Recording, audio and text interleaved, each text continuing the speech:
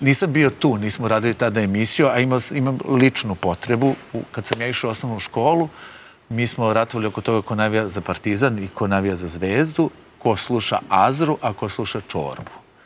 I to to je bio uglavnom rat po tome ko je napisao bolji stih, čije, čije gitarska deonica bolja, koja pesma više zazvuči, koja pesma više opravdava dobre stvari ili gluposti u životu koje smo pravili. Bora Čorba je otišao, vaša asocijacija na tog umetnika? Mislim, teško da sad može čovjek u tri rečenice kaže bilo šta ovaj, što bi suvislo moglo da nekako reflektuje uh, jedno zaista čvrsto muzičko obrazovanje cele generacije koje je pratila to od samog početka, od suncokreta pa nadalje. Mm, ovaj, pa da, i, i mislim da je to naše muzičko obrazovanje e, i bila velika privilegija cele generacije koja se školovala što se tiče rock'n'rolla ne samo van zemlje, nego i unutar zemlje, pa bio to Johnny Štulić ili ovaj, Bora Čorba. E, u svakom slučaju mi smo imali dobru potporu za ono što smo voleli i što smo slušali, zato što to nismo samo voleli i slušali, nego se to i danas voli i mm, sluša. Meni se čini da smo i malo i živeli, i malo rukovodili određenim tipom. Komšije će da... Izvinjavam se što sam ovdje malo se povukao. Leko, ti je Gora? Da. Pa, ne znam, Cvele... Evo, da ga stavimo određeni frame. Vi ste ipak reditelj. Ima ljudi koji kažu, evo, Bora je bio ovo, Bora je bio ovo. Neki njegovi postupci su činili da ga vidimo ovako. Negde se rukovodio ovim, a negde imam utisak da generalno je ostao i bio voljen.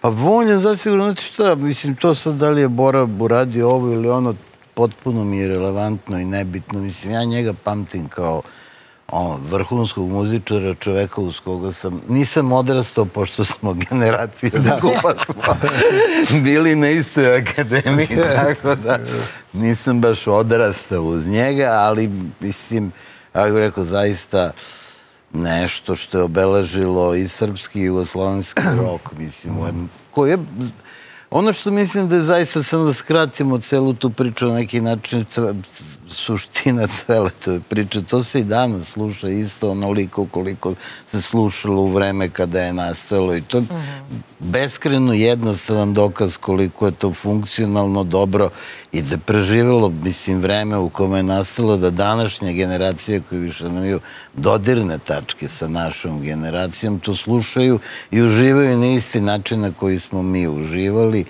i da odrastaju uz to. Prosto je to dokaz neke njegove univerzalnosti. Ja ću da se vratim posle na ovu veliku i najveću glumačku nagradu, ovaj, ali hoću da ovdje da se nadovežem na ovo preživjelo je neko vreme i to se danas govori, danas se priča, delo po kome ste uradili film, je ima vremena kada je napisano, ali iz tog vremena u ovo dobilo je svoj oblik u ovom filmu i evo, bilo gledano, bilo ispoštovano i ovoga puta od nekih odgovornih ljudi nekako odlučeno je da će da nas predstavlja kao naš kandidat za Oscar. Da, Ruski da. konzul. Ruski konzul. Ruski konzul za srpskog Oscara, da. e, šta, je, šta je stvarno, pošto kaže da za tog Oscara mnogo može da bude za da, da nekako bude pomoć da film uđe uopšte u, u, u vidokrug onih koji o tome odlučuju, a šta može da bude ne? Kako, kako vidimo sad, osim sjajnih glumaca? Pa, znate šta, to je onako, ceo taj Oscar je u stvari jedna jako, kako bismo komplikovano složena stvar i ona zahteva jako mnogo i materijalnog ulaganja i nekakve tradicije s kojim bi morali da nastupa, u kojoj mi, nažalost, nismo uspeli da izgradimo. Mislim, ako bismo ikada želeli da Iole ozbiljnije konkurišemo za tu nagradu, onda bi morali malo da se posvetimo, zato što cela ta, kako bi rekao, i durma ili uopšte pravila koje se dešavaju oko Oscara, imaju neka svoja pravila, zna se šta treba da uradite, kakvu kampanju da vodite. Mislim, ne možete jednostavno doći i pobediti sa filmom e, bez obzira kakav je, ako nemate jednu mašineriju oko vas koja će to ispratiti, jednu logistiku koja će dati podršku. Ali opet s druge strane to je neka prilika da, kako bih rekao, i u svetu vide neki film, zato što obično uz Oscara idu još i neki festival. Recimo Palm Springs je neki festival mhm. koji najavljuje Oscar i to uglavnom, uglavnom filmovi van engleskog govornog područja bivaju pozivani, tako da možda, pa onda posle toga dobijate mogućnost još nekih festivala širom Amerike i tako da je. Tako da on ima neku svoju funkciju, ali je pitanje koliko zaista želite da to jednog dana osvojite možda ili koliko samo želite da učestvujete. Dobro, onda, onda on dođe samo kao kompliment, koliko sam shvatio. Nešto, nešto ne dajete priliku da, da to možda bude viđeno, ocenjeno dobro, bez velike potpore, velikog marketinga? Pa dosta teško. Mislim, biće, mislim, sad postoji nešto više razumevanja i ovde da bi se prosto taj film mogao prikazati i članovima Američke akademije, ovaj, a istovremeno i dobiti nekakvu vrstu reklame unutar časopisa koji se bave isključivo filmom i tako dalje. Tako da ne, ne govorimo o tome da je to nešto beznadežno, nego prosto, kako bih rekao, ako bismo zaista u jednom trutku ozbiljno želeli da se bavimo Oskarom, onda bi trebali i da uložimo jedan ozbiljan trud i sredstva da bismo do toga došli. Gledano iz iskustva filma za danas toliko, niko nije ništa planirao, a on je postao bioskopski hit ove godine. Cvele, moram da te pitam, u ovakvom aranžmanu glumačkom koji jeste, evo sad i Žarko Laušević, ti, gospodin Dugalić i tako dalje, ta jedna svetska scena iz ideje da će mnogi ljudi pogledati ovaj film i oni koji su sa druge strane, koji su dalji, koji nekako možda su handhuntersi za, za velike glumačke zvezde ili dobre glumce. Ti znači nešto o, ovo? Mislim, sigurno da jeste pohvala za glumački trud i radi za film, ali šta ti znači ovo? Pa ja ovaj, sam bio svedokom kako izgleda to kad uđe naš film u konkurenciju mm. za strani film i uopšte kad je potrebno da ga gledaju članovi mm. Američke akademije. U to vreme kad sam bio, to ima tome 12-13 godina, ovaj, išli smo Tihomir Stanić i ja, radilo se od turneji Gorana mhm, Markovića mhm. i to što kaže Leka, mora jedna mašinerija da se pokrene. I mi smo tu mašineriju uspeli nekako da pokrenemo, što se tiče jako dobar publicista koje smo imali, jednu gospođu i njenu agenciju koja je držala nekoliko filmova, ali ovaj, toj projekciji koja se pravi u Hollywoodu prisustuju članovi Američke filmske akademije. I oni moraju da dođu tada tu. To nije u to vreme bilo online da može da se gleda i ne znam da li sada e, isto tako. Zato što online kad gledaš nisi obavezan da gledaš, ali oni su bili obavezni da gledaju. I to je jedan zatvoreni krug ipak. Ima u Londonu i ima u Los Angelesu i u Njujorku i organizuju se projekcije, oni to gledaju. I ovaj, ti kao autor ne smeš tome da prisutuješ. Dakle, mi smo bili ispred vrata, ono, i gledali smo i kako ulaze svi ti ovaj, značajni ljudi a, američke filmske industrije. Um, I onda nikakav feedback oni nisu u stanju da, da daju bilo kome. Ali naš publicista, ta gospođa, ona je imala čoveka koji je bio zadužen za feedback. Pošto se uglavnom radi o ljudima koji su stariji članovi filmske akademije, oni posle projekcije obavezno idu u toalet. I dok su u toaletu, oni komentarišu film koji su gledali. A onda je naš publicista imao svog čoveka u toaletu koji je preneo kakve su reakcije na film bile i mi smo po tome znali kako se film kotira.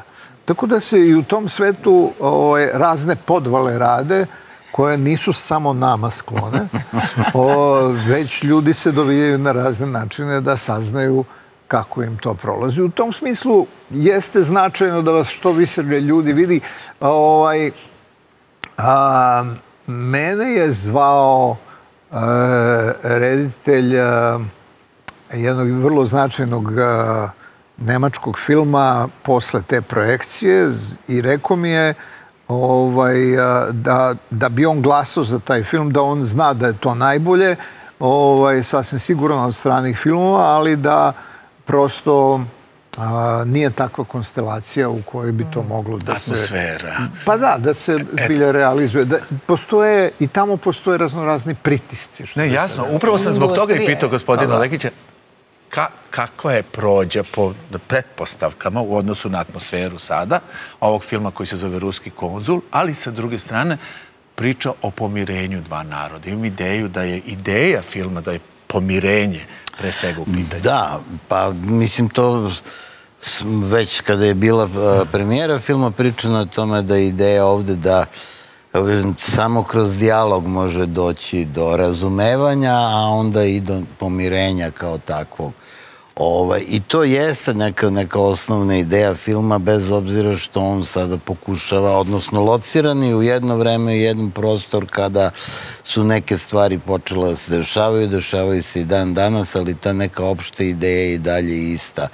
I ostale sad, To mislim da jeste neka ideja koja bi trebala da bude jako pristupačna i razumljiva. Mislim, ako budemo imali publicistu, mislim da je to... Ali znate šta se dešava? Jedna potpuno čudna, absurdna stvar koju, recimo, nismo mogli ni predvideti kada će biti. Nismo mogli predvideti eventualno da će biti problema reakcija da li sa jedne ili sa druge strane u smislu te e, neobjektivno prikazivanje ili e, subjektivno prikazivanje, govorim samo albansko-srpskog odnosa, ali nismo ni mogli pretpostaviti jednu stvar koja se sad dešava, to je da nam se film zove Ruski konzul, a da to izaziva opšte zgražanje u svetu. Nije uopšte pa ona. Jer, mislim, kada vam je trenutno jedna situacija u kojoj bilo šta što se zove Ruski ima potpuno drugačiju konotaciju. I, što je uopšte tamo. A priori vas, kako je diskvalifikuju, nezavisno od toga o čemu je, mm. nego jednostavno kao, aha, ruski, to je nešto loše ili to je neka meka propaganda ili to je... Mi smo već tih problema sa filmom imali u nekim oglašavanjima i tako je. Tako da nas to čeka šta očekivati, izborimo. Šta očekivati od malih Rusa? Osim da bude ruski Ali verovatno je to važilo ono da je loš marketing marketing? Pa da, ima neke, naravno ima i toga da, ali kako bih rekao, u ovom slučaju nam je dosta odmoglo u nekim situacijama zaista dobijali smo i predloge da promenimo da promenimo naslov filma. Da, da prosto, jer čak i to su upravo neki dobronamerni ljudi koji su rekli, pa znam, ali to, mislim, sa Rusima nema nikakve veze. To je priča o nečem potpuno desetom i to, mm. može se zove konzul, može se zove ovako, onako, mislim, a sada je prosto takav geopolitički trenutak da čim kažete ruski... Nepopularni naslov. Pogodili smo sve što ne valja. Zemlji porekla priču, naziv. Ali dobro, opet smo tu gde smo. Pa naravno. Nikad se ne znam. Možda se desi neočekivano da neko razume priču koja nije njihova. Pa čak ne znam ni ta priča o pomirenju koliko je uopšte za to tržište. Ja sam to tako doživeo. Ja sam doživeo to tako. nego koliko to igra pa u onoj industriji gde... Mislim da je bolje nego da smo pravili pamflet o tome kako smo mi... Da, da, naravno. Dobro, hoću da pitan sad o ovoj nagradi nagradi Milana Dravić, Ljubiša Samarić, Predrag Manojlović, Nedarnović su dobili ovu, ovu, ovu, ovu nagradu. A, I sada nagrada za, za životno delo. A, I ono što je stvarno bilo meni tako, sad ne znam zašto, ali mi je tako, redko kada ljudi imaju priliku da posvete nagradu nekome. Mm. I ti si posvetio Nadi Basar, je tako? I sad ja nisam pronašao zašto. Što, kako? Pa, to, to, to što je zašto, ja sam to rekao na tom mestu tamo i mislim, uh, smatrao sam da imam jedan veliki dug i jedan uh, odnos prema nekome koje meni pro, prosto produžio život i na neki način uh, vam je dao i neki novi život, a da to ljudi generalno ne znaju. Doktorka?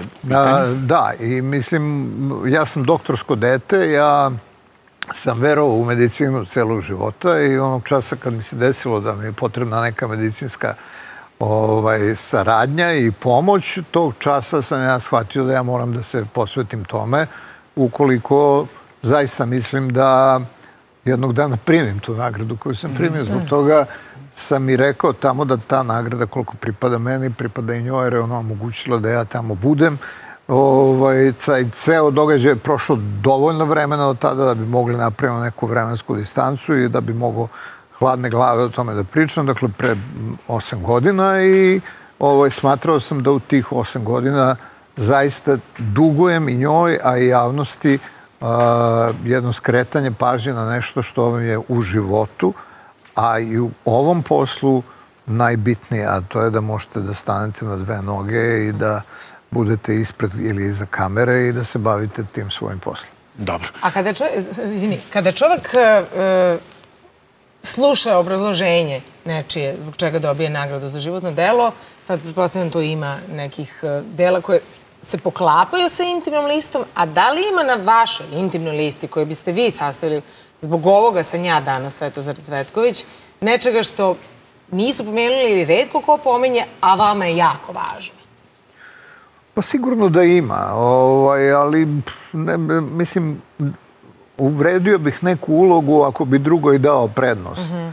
ovaj, ali u svakom slučaju, svi ti ljudi sa kojima sam radio i koji su mi davali priliku još u ranim godinama bavljenjem ovim poslom, evo pre, pre svega Leka tu, ono kao mi smo prvi njegov film zajednički radili i sad kad smo bili u Nišu, onda smo evocirali to da se poznajemo duže od 100 godina. ovaj, na kraju kreva i na akademiji smo čak bili smo se sretali na hodnicima jer ovaj, smo tu negde u jednom prostoru. Um, ali um, mislim da ne, ne mogu da kažem sad za nešto da je to skrajnuto zato što mhm. ništa što sam radio, a što je bilo nekog kvaliteta u tom umetničkom smislu što se tiče filma, je uvek negde prošlo i uvek je napravilo svoj prodor bilo kod publike, bilo kod kritike, bilo kod festivala, u na festivalima na kojima je film nastupao. Tako da ovaj, sve u svemu ne, ne osjećam se ja da sad tu postoji neka mhm. gromada koja bi mogla da se nazove nekim životnim delom, ali a, da postoji neko poštovanje, a, shvatio sam pre svega od ljudi koji su doneli takvu odluku, a na kraju krajeva i od svih tih ljudi u Nišu koji su bili kad sam primao nagradu. Evo sad, ja sam malo rekao i to stvarno mislim, gledajući pozorište, film i tako dalje, postoje uloge koje samo, mislim, gospodin može da odigra. Ali vi ste stručniji u tome. A posebno, moraš zbog mlađe generacije samo da nam kažeš, jer kad dobiješ nečiju nagradu koja se zove imenom i prezimenom nekog velikog glumca, to onda znači da je taj neko, reći nam zašto, ali zašto biste vi, gospodinu Cvetkoviću, dali nagradu? Koje su to osobenosti kao glumca koje on ima i zbog čega ste ga izabrali u oba svoje velika filma? Mogu ja da kažem, Leka bi dao meni nagradu za pronalaženje dobre kuhinje u pauzi snimanja. znači, i tu ide preko stomaka. Ma, to ide preko čula, a ne preko stomaka. Preko toga kako se odlučujemo. Da, i, i, mi smo nekoliko stvari radili gde bismo čekali da nam dođe pauza i da zbrišemo i da nađemo pouzdano dobar restoran u kome će biti pravi, topli obrok za nas. Da, i koje posle toga podstaje utočište naše želje za rado.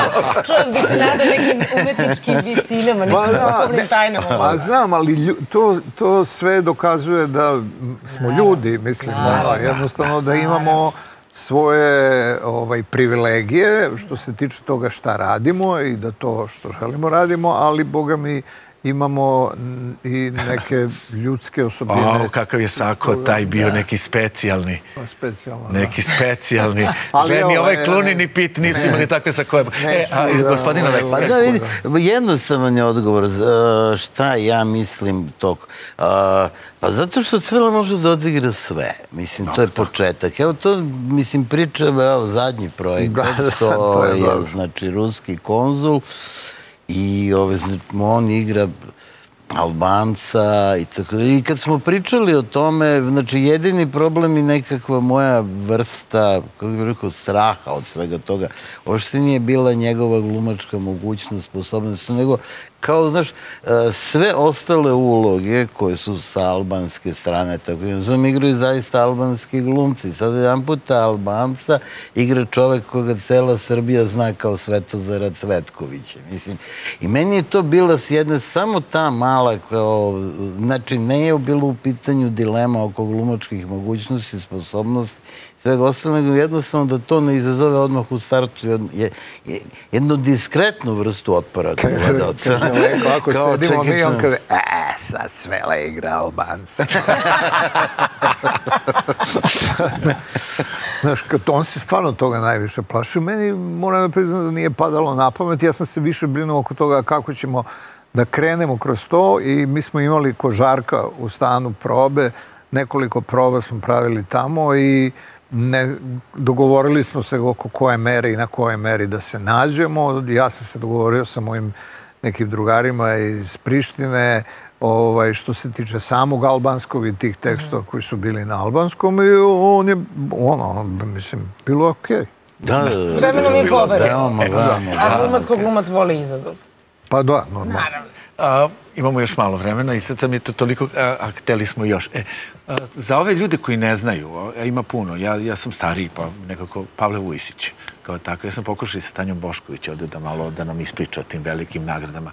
Z zašto, zašto je okej okay da se nagrada za najveće glumačko ostignuće, da tako kažem svako zove Pavle Vujsić. Šta je to u tom velikom glumcu? Koje je to specifikom koje kaže Pa naravno da... Ta nagrada je dostojna svog zvanja. U našim životima i u ovome čime se mi bavimo postoji bar još, ajde da ne kažemo, deset ali pet ili sedam glumaca koji bi mogli da, kojima biste mogli da date naziv neke nagrade mm. koje je tako velika, ali Pavle Vujsić je bio jedna potpuno neverovatna ličnost koja je bila zapravo i van granica onoga što bismo mogli da nazovemo glumačkim zanatom ili glumačkom umetnošću, ako to uopšte postoji. To je bila jedna potpuno autentična pojava, jedan lik kome niste znali s koje strane da priđete. Mm, mm. I moje prvo iskustvo sa njim, sam bio stvarno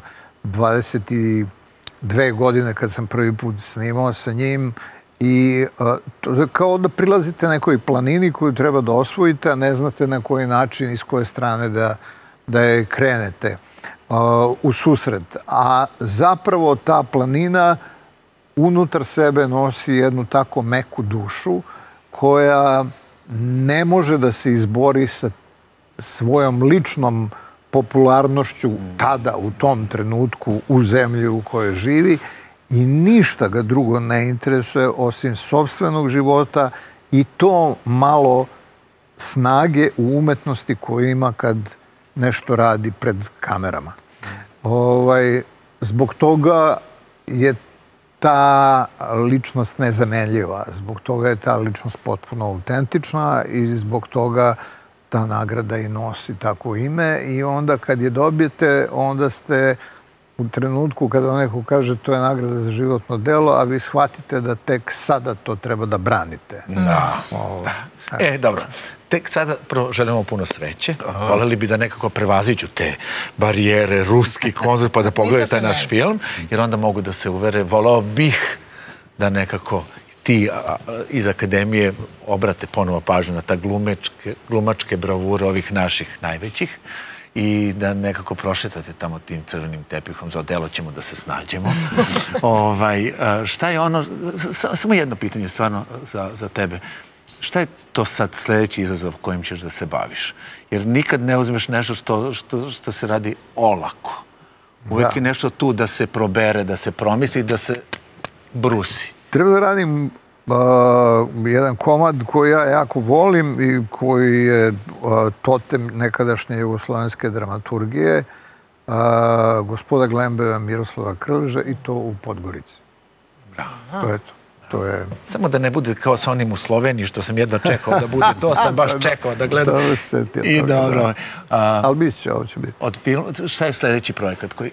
Pa, nima ih nekoliko, zaista uh, pretpostavljam da će negde prvi projekat, mora malo da se odmorim, ali verovatno državni službenik četiri će biti prvi projekat koji ću raditi. Ne, to ćemo mi koji sedimo skoro. pored televizora i drugujemo s televizorom, imamo socijalni trenutak onako u slast da, da gledamo. Hvala vam puno, želim vam puno uspeha.